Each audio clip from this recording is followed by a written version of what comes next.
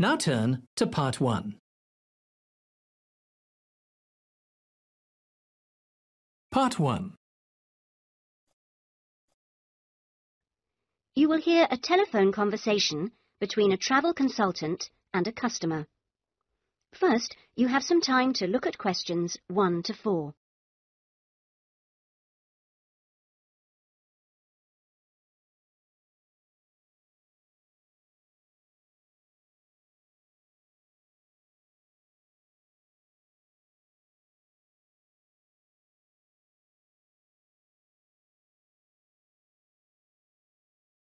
Listen carefully and answer questions 1 to 4. Good afternoon, Dreamtime Travel. How can I help you? Oh, hello. I'm interested in the holidays you offer along the coast near here. Yes, we operate several tours up the coast. Where in particular did you want to go? Well, I like the sound of the holiday that mentioned whales. Was it, um, whale watching? Oh, that's our Whale Watch experience. It's very popular, and it's based in a lovely little town with nice beaches. Oh, right. And how long does it last? It's two days. Uh, That includes four hours travel time each way from here. Good. I don't want to be away any longer than that. So, is that by coach? Actually, it's by minibus. We like to keep those tours small and personal, so we don't take a whole coachload of people. In fact, we only take up to 15 people on this tour, although we do run it with just 12 or 13. Oh, right. So, do you run these tours often? Well, it depends on the time of year. Of course, in peak times, like the summer holidays, we do them every weekend, but at the moment, it's usually once a month at most. And when is the next one going? Hmm, let me see. Uh, there's one in three weeks' time, which is April the 18th, and then we don't have another one until uh, June the 2nd. All right. Um, and is April a good time to go? Pretty good, though the really good time is later in the year. I have to say, though, that the whale sighting is only one of the many things offered. Really? Yes, the hotel itself where you stay has great facilities. It's called the Pallisades. Uh, the Paris what? No, it's actually the Pallisades. P-A-L-L-I-S-A-D-E-S. It's right on the main beach there. Oh, I see. All of the rooms have nice views, and the food is really good there too. Oh, right. Before you hear the rest of the conversation, you have some time to look at questions 5 to 10.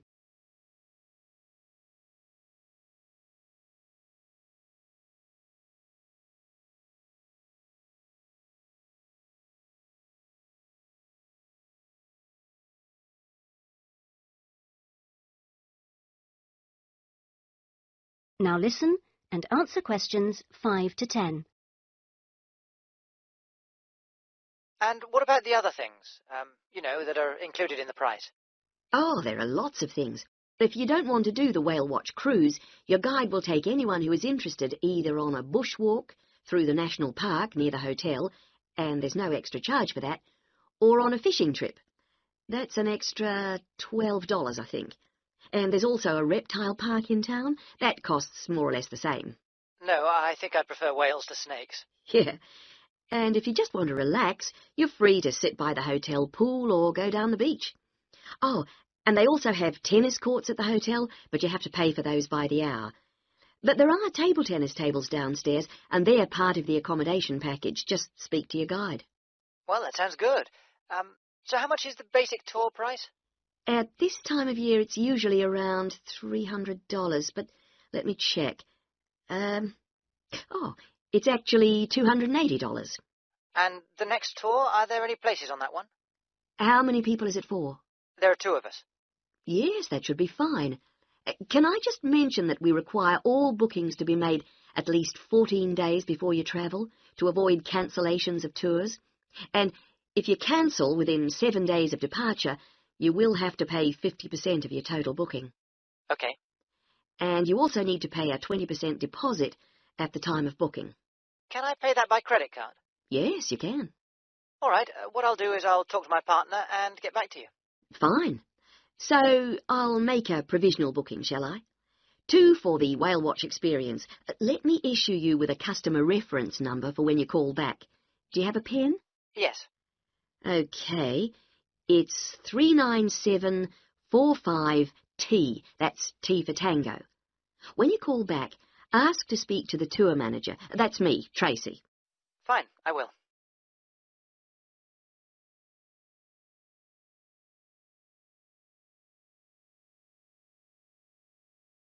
That is the end of part one. You now have one minute to check your answers to part one.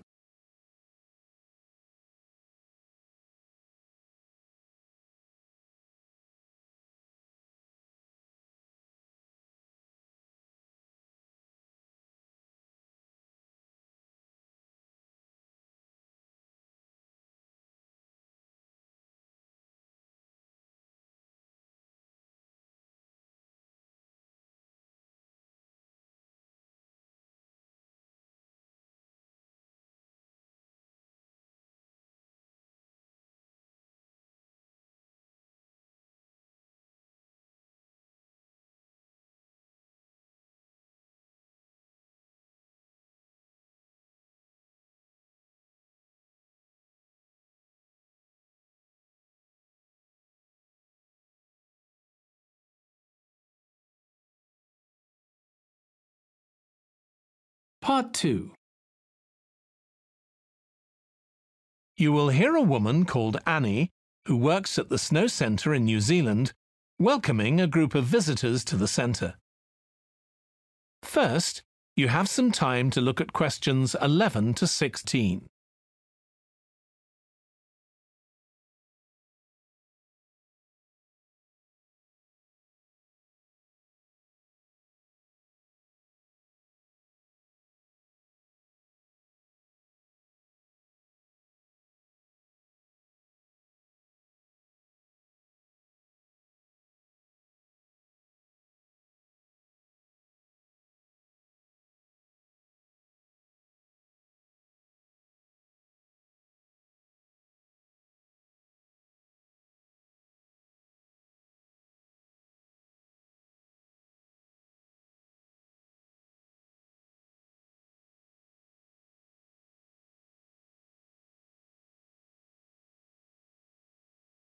Now listen carefully and answer questions 11 to 16.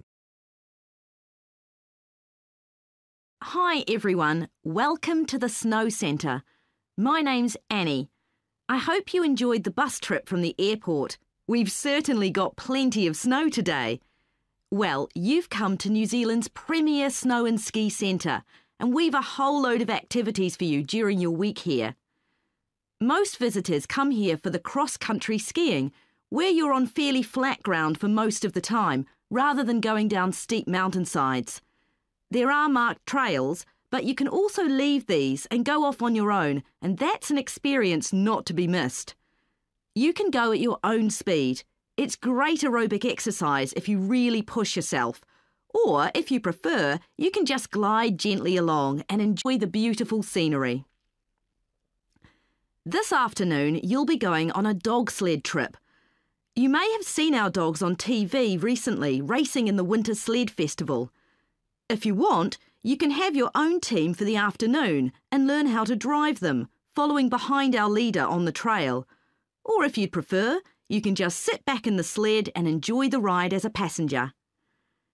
At the weekend, we have the team relay event, and you're all welcome to join in. We have a local school coming along, and a lot of the teachers are taking part too. Participation rather than winning is the main focus, and there's a medal for everyone who takes part. Participants are in teams of two to four, and each team must complete four laps of the course. For your final expedition, you'll head off to Mount Frenna wearing a pair of special snowshoes which allow you to walk on top of the snow. This is an area where miners once searched for gold, though there are very few traces of their work left now. When the snow melts in summer, the mountain slopes are carpeted in flowers and plants. It's a long ascent, though not too steep, and walkers generally take a couple of days to get to the summit and return. You'll spend the night in our hut halfway up the mountain. That's included in your package for the stay. It's got cooking facilities, firewood, and water for drinking. For washing, we recommend you use melted snow, though, to conserve supplies. We can take your luggage up on our snowmobile for you for just $10 a person. The hut has cooking facilities, so you can make a hot meal in the evening and morning, but you need to take your own food. The weather on Mount Frenna can be very stormy. In that case, stay in the hut. Generally, the storms don't last long. Don't stress about getting back here to the centre in time to catch the airport bus. They'll probably not be running anyway. We do have an emergency locator beacon in the hut, but only use that if it's a real emergency, like if someone's ill or injured. Before you hear the rest of the talk, you have some time to look at questions 17 to 20.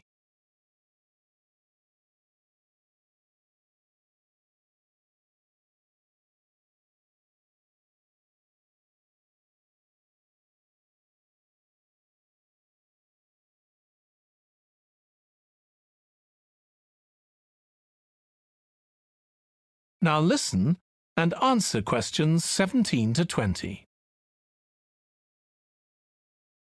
Now, let me tell you something about the different ski trails you can follow during your stay here. Highland Trail's directly accessible from where we are now. This trail's been designed to give first timers an experience they'll enjoy regardless of their age or skill, but it's also ideal for experts to practice their technique. Then there's Pine Trail. If you're nervous about skiing, leave this one to the experts. You follow a steep valley looking right down on the river below. Scary! But if you've fully mastered the techniques needed for hills, it's great fun. Stony Trail's a good choice once you've got a general idea of the basics. There are one or two tricky sections, but nothing too challenging. There's a shelter halfway where you can sit and take a break and enjoy the afternoon sunshine.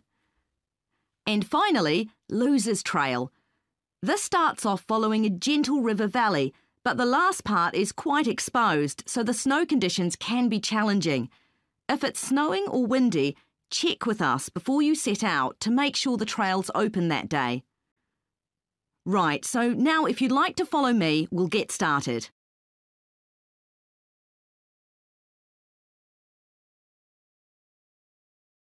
That is the end of part two. You now have 30 seconds to check your answers to part two.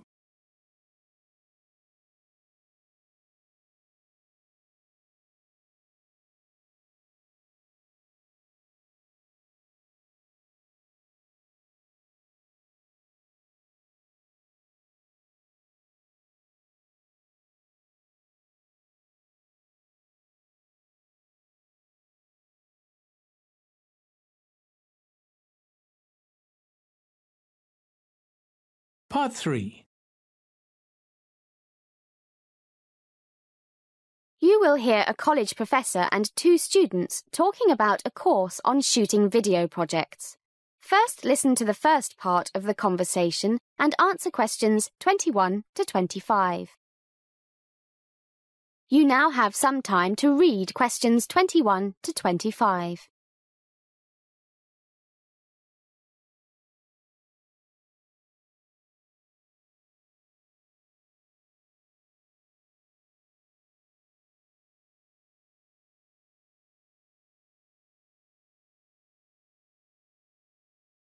Hi, guys. Hi, Hi, Professor, Professor Edwards. Edwards. What's happening? What's happening? Well, the department head just told me I've got to teach this course on making video documentaries. I know you two are really into videos. That documentary you made last term on homeless people was fantastic, and I've never thought this course before. I'm an old-fashioned film man, so I thought I'd get some suggestions from you on how to design this course. Well, I don't know if we can be much help, but we'll try. How exactly do you think we can help you? I suppose the first thing is, how much do most of the students know about video cameras? I don't want to waste time telling them stuff they already know. Actually, some of them have video cameras, but they only use them for home movies, that type of thing. Yeah, I don't think many of them know much about their cameras. Just point and shoot. So maybe I should start with the basics of the video camera. I think so. Otherwise, they will just put the thing on automatic and lose out on a lot of really good things you can do if you control the camera more yourself. I agree. But do you expect everyone to have their own video camera? Too expensive for a lot of them, but they can rent them. Doesn't cost too much. 5 to 15 pounds a day, I think. Depends on the model. The thing I'm most interested in is getting them to plan their projects properly and be creative in their use of what they've got.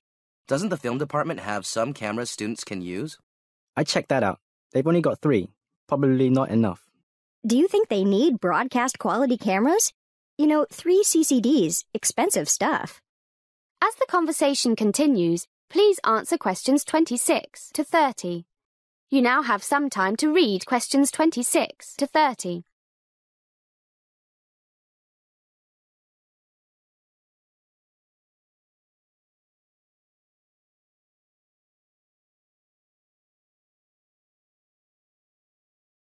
No need. Single CCD.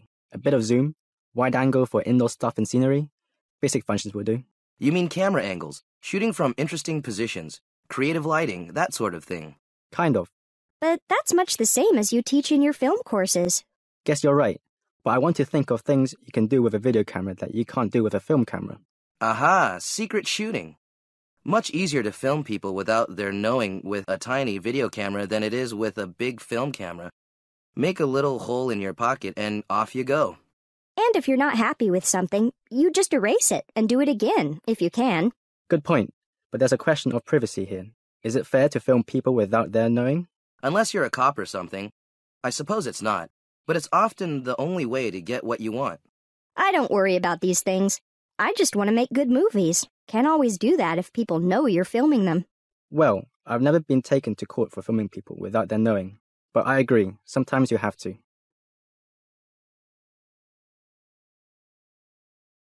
That is the end of part three. You now have 30 seconds to check your answers to part three.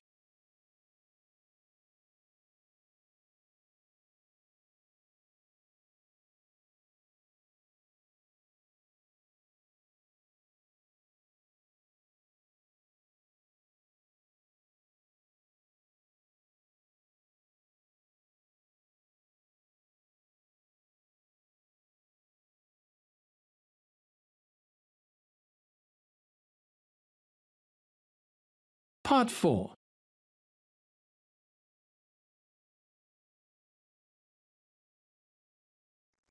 You will hear a British University lecturer in music talking about concerts in an arts festival. First, you have some time to look at questions 31 to 40.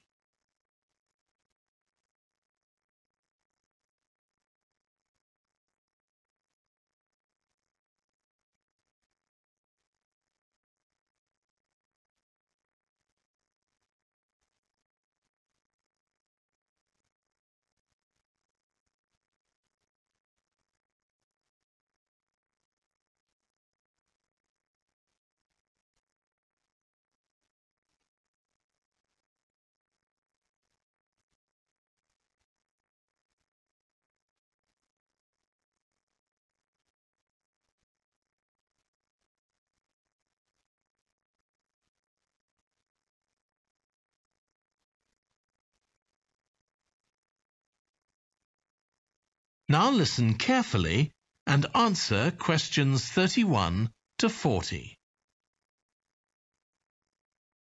As you all know, the university is planning an arts festival for later this year, and here in the music department, we've planned three concerts. These will be public performances, and the programme has just been finalised. The theme of the festival is links between the UK and Australia, and this is reflected in the music. Each concert will feature both British and Australian composers. I'll tell you briefly about the Australian music, as you probably won't be familiar with that. The first concert will include music by Liza Lim, who was born in Perth, Western Australia, in 1966. As a child, Lim originally learned to play the piano, like so many children, and also the violin. But when she was 11, her teachers encouraged her to start composing. She found this was her real strength, and she studied and later taught composition, both in Australia and in other countries. As a composer, she has received commissions from numerous orchestras, other performers, and festivals in several countries. Liza Lim's compositions are vibrant and full of energy, and she often explores Asian and Australian Aboriginal cultural sources, including the native instrument, the didgeridoo. This is featured in a work called The Compass. Her music is very expressive, so although it is complex, it has the power of connecting with audiences and performers alike. In the festival, we're going to give a semi-staged performance of the Oresteia. This is an opera in seven parts, based on the trilogy of ancient Greek tragedies by Aeschylus. Lim composed this when she was in her mid-twenties, and she also wrote the text, along with Barrie Kosky. It's performed by six singers, a dancer, and an orchestra that as well as standard orchestral instruments, includes electric guitar and a traditional Turkish stringed instrument. Lim wrote that because the stories in the tragedies are not easy to tell. The sounds she creates are also disturbing, and they include breathing, sobbing, laughing, and whistling.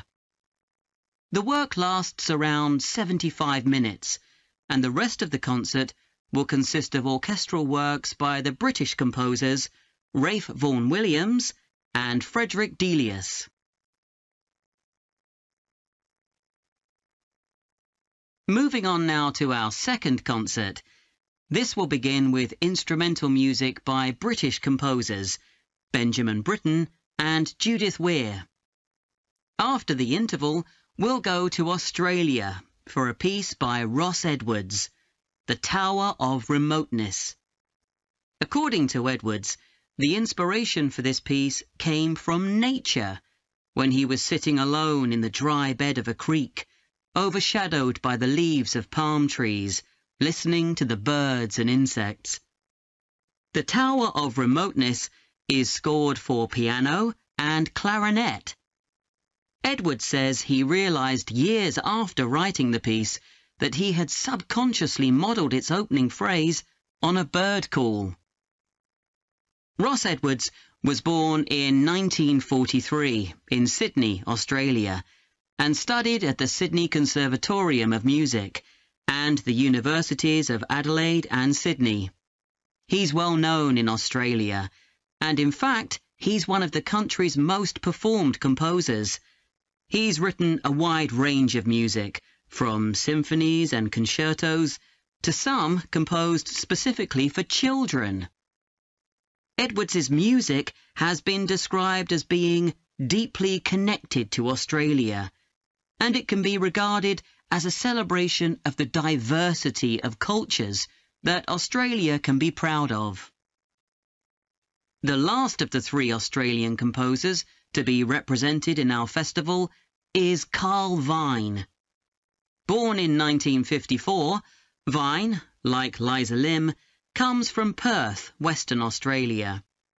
He took up the cornet at the age of five, switching to the piano five years later. However, he went to university to study physics before changing to composition.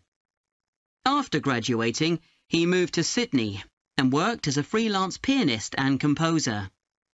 Before long, he had become prominent in Australia as a composer for dance, and in fact has written 25 scores of that type. In our third concert, Vine will be represented by his music for the flag handover ceremony of the Olympics held in 1996.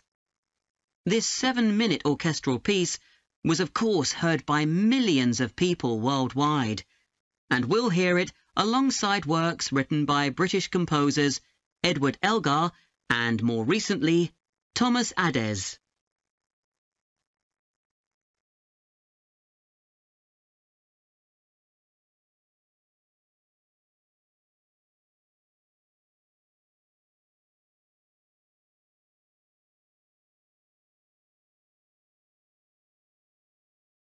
That is the end of part four. You now have one minute to check your answers to part four. That is the end of the listening test. In the IELTS test, you would now have 10 minutes to transfer your answers to the answer sheet.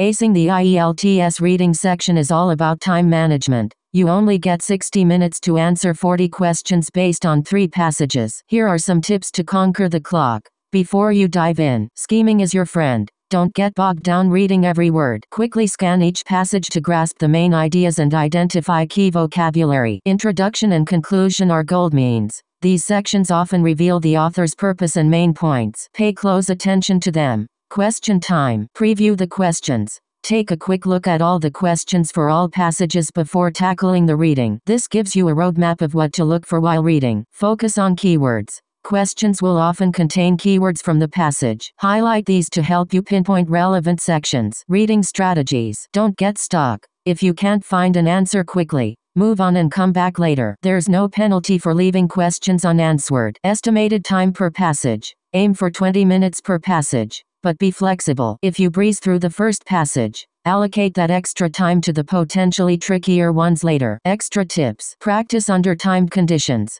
Take practice tests under real-world time constraints to build your time management skills. Stay calm. Anxiety can eat into your time. Take a deep breath and focus on the task at hand. Answer all questions. There's no penalty for guessing. So take a shot at an answer for every question. By following these tips, You'll be well on your way to mastering time management in the IELTS reading section. Remember, practice makes perfect. So get out there and start honing your reading speed and comprehension skills.